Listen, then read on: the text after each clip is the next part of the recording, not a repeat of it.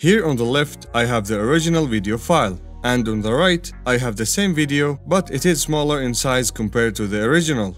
As you can see, there is no difference in the quality. That's because the one on the right uses a highly efficient way of storing data in the video file. I will show you how to compress videos yourself just like this one.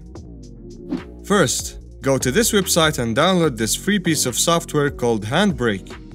After installing it, open it. Here you can import a single video or you can import a folder full of videos. So, I will drag the video I want to compress and drop it in Handbrake. Now, in this summary tab, you can choose the video format. You can choose MP4 or MKV. I would say that you can just use MP4 for almost everything. It doesn't really matter, but I will use MP4 here. If you're uploading the video to your website or over WhatsApp, check this option called Web Optimize to make it smoother for playing back on your website for example. Now go to the Dimensions tab. For cropping, choose None. And for resolution and scaling, choose None. This will tell Handbrake not to rescale your original video to 1080p if you're compressing 4K videos for example. Now go to the Video tab. This is the most important tab for compressing videos in Handbrake. In this drop-down menu, there are a lot of encoders to choose from, so which one should you use? H.264 is an older codec that is widely adopted in many sites and services, but it is not the best at compressing videos. It takes a faster time to encode. And H.265 is a newer codec. It's much better than H.264. It is not as widely adopted as H.264, and it takes a medium to slow time to encode.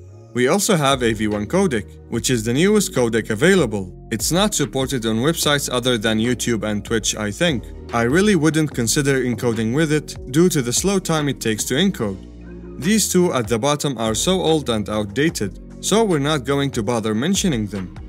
So, if you want the best quality with the smallest file size, you should use H.265 for the best efficiency. But there are multiple options, which one of them should you use? Well, X.265 uses the CPU to compress the video, and the others use the GPU to do so. It's better to use the CPU to compress the videos. That's because it will give you the best quality in the smallest possible file size. I will choose X265 here. For frame rate, choose same as source, and make it constant frame rate. Now in the quality section, make sure to choose constant quality. If you're compressing lower resolution videos like 720p or lower, make it 18 or 19. And if you're compressing 1080p or 4K videos, make it 22 or 23. For encoder options, you can choose how fast your encoding should be. Fast or faster are faster for encoding, but are not the best for quality in terms of compressing the video. And medium and slow are the better options for compressing videos. However, they take longer time to encode, I would suggest you make it medium or fast and it will give you the best balance between encoding time and quality. But if you don't care about the encoding time, choose slow and it will give you a better quality compared to the other faster options. You can leave everything as is and go to the audio tab. Choose an audio bitrate of 320 kilobits per second to get great audio quality. Now let's set a destination for our encoded video. Name it any name you like and click on save. Now click on Start Encode, and now it will start compressing the video.